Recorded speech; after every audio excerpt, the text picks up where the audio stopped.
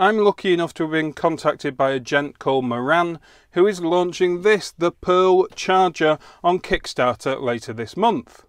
The Charger appeals to me because it claims some impressive stats, but most importantly for me here in the solar shed, this doesn't need to be mains powered. The unit itself is pretty compact and uh, quite funky looking too. There are four USB ports on the front and the thing feels pretty solid. This is an anodized aluminium top and uh, bottom and then there's some sort of uh, composite here making up some layers on the side. On the top there's a uh, LED for each of the channels and there's also a watt meter which I think is quite a nice addition and on the back there's a 5.5 2.1 mil barrel jack which takes obviously DC so uh, this looks like quite a nice little charger now I mentioned it claims some impressive stats, so what are they? Well straight away you can see that each port is marked as 2.7 amps. Now typically even the top end charger is 2.4 amps um, at 5 volts, nothing more than that. So this has got a little bit more available to it for those really power hungry devices. But also each one of these channels is claimed to be completely independent of each other. Each one has adaptive charging, so they'll charge iPhones and Samsung and all those various different types of devices um, in the proper manner. There is of course that integrated watt meter there at the back and also it has a wide input voltage. There's an interesting feature which I hope to take a quick look at, which is wire compensation. It also claims fault recovery and reverse polarity protection. And, well, I hope I've got time to test them all. Now the Pirl charger was supplied with this uh, US uh, pinned um, adapter here but it is um, international voltage 100 to 240 volts AC there and the output of this is 15 volts and 4 amps so 60 watts. There's uh, plenty of power in that uh, but it also came with a standard cigar accessory uh, car uh, adapter here. Um, so we know it works off 15 volts and we know it will work off 12 volts. So uh, we're already seeing that this is going to work quite nicely in the shed where my battery bank can be anywhere in between, I don't know, 12 volts and 14 and a bit volts. Now I've got my lead acid battery bank connected to the back of the Pirl charger and I've put in a power meter here at the front. And if we turn the uh, lead acid battery bank on yes there we go. We can see we've got 5.08 volts and no current flowing because there's nothing here connected to the uh, power meter. But I'm going to put in one of these resistive loads. I've set it to 1 amp for the moment. So if we plug that in uh, we can see, yeah, there is one amp flowing, just a fraction over, according to this meter. Uh, but straight away, I've uh, noticed that the voltage has jumped up to 5.2 3 volts. Uh, previously it was 5.08. Um, so I can start ticking things off my list already. And my list said uh, one of the features was wire compensation. So as more current is being taken by the device, the voltage increases ever so slightly. So uh, let's just turn this up to 2 amps. And, uh, well, that's dropped back a bit, but it's still way over 5 volts. And that does account for some voltage drop over a wire. So, yeah, do you know what? I'm going to give it the wire compensation. That's absolutely uh, fine. It is increasing the voltage uh, to uh, combat any voltage drop.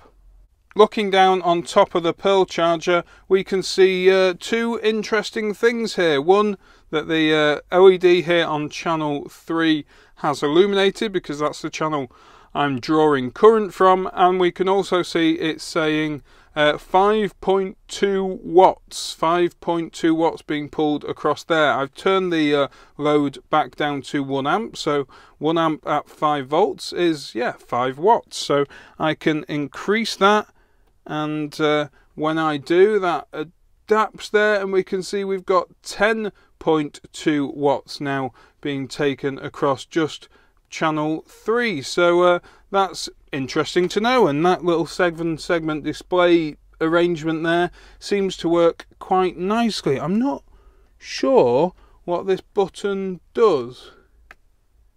Okay you can actually turn off the watt meter and turn it back on again. So that's really good. So uh, if this is by your bedside or something you can press and hold. You press and hold? Yeah you can press and hold and no how did I turn it off a minute ago? Hmm. Um, there we go.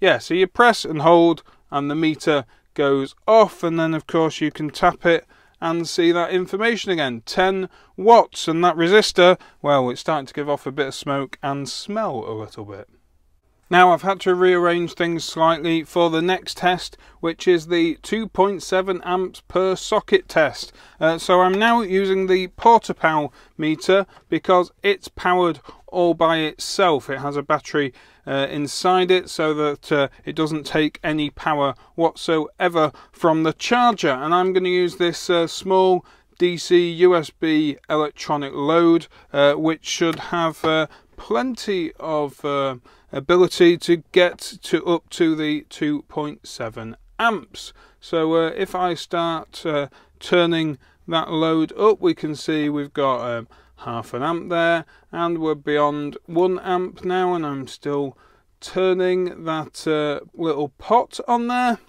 We're up to two amps there, almost exactly. Look at that, 10.2 watts, because the voltage is there at 5.1 volts. Um, that's still holding nicely. And if we increase a bit further, so most chargers will uh, top out around there, 2.4 amps. But of course, this one claims 2.7 amps. So let's see what happens when we get up to 2.7 amps. We're quite close there. The voltage remains over 5 volts, 2.7 amps there, 13.6 watts, and the voltage is still above 5 volts. What happens if I uh, take it over the 2.7 volts? Well, uh, oh, that voltage is starting to collapse there, and uh, yeah, that voltage has disappeared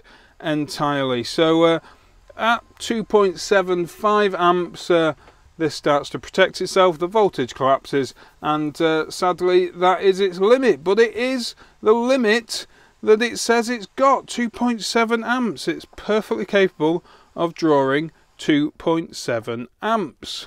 So look at this, I've run out of meters and loads, but uh, you can see there on the left hand meter we've got 5 volts at 2.7 amps, on the right hand meter it's reading just slightly under 5 volts at 2.65 amps and then we've got two 2 amp loads in the middle which I shouldn't touch because they'll be very very hot. It claims 48 watts are being drawn from the charger. Well to be honest that's all I can throw at this thing. What's that? 2.7 plus 2.7 is 5.4 plus, uh, 4 there so that's 9.4 so yeah nine and a half amps I'm pulling from this charger 48 watts at 5 volts.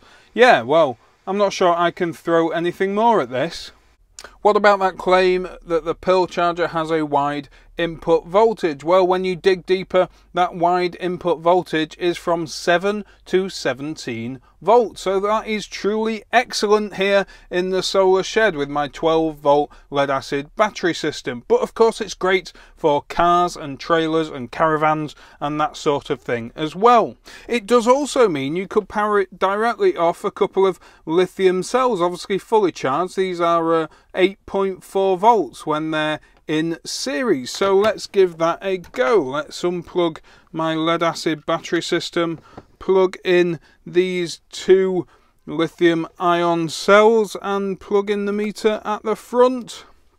The lights go on, the watt meter shows up, and we're pulling just under 2 amps at just over 5 volts. Well, yeah, that seems to work absolutely perfectly.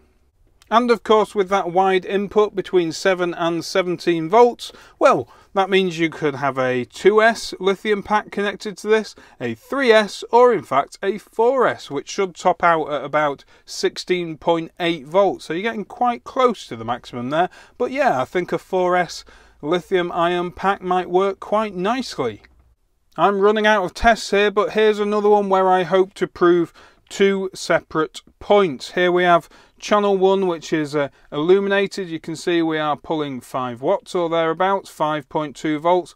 1 amp being drawn across channel 1 and I have this little USB cable here which uh, I've chopped apart and I've shorted the positive and the negative together. So this is a fault situation. So what I'm hoping will happen is channel 4, which I'm going to plug this into, goes into a fault mode and channel 1 remains working without any problem whatsoever. And this should prove that these channels are completely isolated. That's claim number one. And claim number two, that this has fault detection and uh, I'm not about to burn down the shed. So uh, without further ado, let's plug in the short and straight away. Channel 4 goes into an error mode with a red LED here and channel 1 remains working absolutely fine. So uh, yeah, two more ticks. Hopefully you'll realise why I've left this test to the very end. I've now connected the Pirl charger in reverse polarity to see its reverse polarity protection. The negative of my power supply is attached to the positive going into the Pirl charger. So let's turn on the power supply. It's supplying 10 volts and absolutely no current is flowing whatsoever. Let's plug in my meter here and of course it doesn't turn on. The Pirl charger is in protective mode. So uh, let's disconnect that for a second and plug my lead acid battery bank back in and yes there it goes. The meter powers up. We've got 5 volts on the output. So this was absolutely fine with uh, the reverse polarity attached uh, to the input. So another tick in the box. So I for one want to have a quick look inside. So I've removed the four screws and uh, the aluminium anodized lid just lifts off quite nicely and we can see straight away there the uh, the layers of the construction. There's some light pipes there for those LEDs and uh, the uh, matrix there for the uh, the seven segment type display. Now interestingly I've been told by Moran this particular one is 3D printed and yes I can absolutely see that it is 3D printed. But obviously once this launches on Kickstarter, I believe that's going to be injection molded. But look at that PCB. That looks really, really tidy. And I say it in that manner because I believe these first early versions here is my number three. That's pretty exciting if it is. Um, these first versions have been handmade. Now, obviously, again, once this launches, that's clearly not going to be the case. They hope to make enough of these to have them machined in a factory. Um, but yeah, we can see straight away. Let me get something to point out that they're clearly completely separate channels with exactly the same um, circuitry uh, supporting each output. This is clearly the section for port 1 with its LEDs and its inductor and controller and all sorts of things there. Clearly each one of these is completely separate. So uh, yeah, I'm pretty impressed. There's a low value resistor there, which is obviously being used as a shunt for the uh, watt meter, which presumably is powered by this one, which is an 80 Tiny 84. So yeah, I'm guessing that's doing the watt meter calculations. And look, is that an ISP header? I think it is. And there's also, yeah, TXRX power and ground, possibly. Yeah, I like this very much. And uh, yes, so it says input 7 to 17 volts, which is already found out. Output 5 volts, 11 amps. And this is an early revision from Pirl Technologies. And uh, yeah, is that all PCB? Yeah, I think it is. All PCB have printed the PCB. So there we have the Pirl Charger launching on Kickstarter very soon and hopefully in shops not long after that.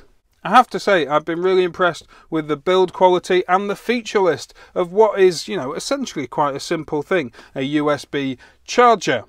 Hopefully you've enjoyed this video. If you have, give me a thumbs up, subscribe down below, comment if you can, and I will see you next time. Thanks for watching.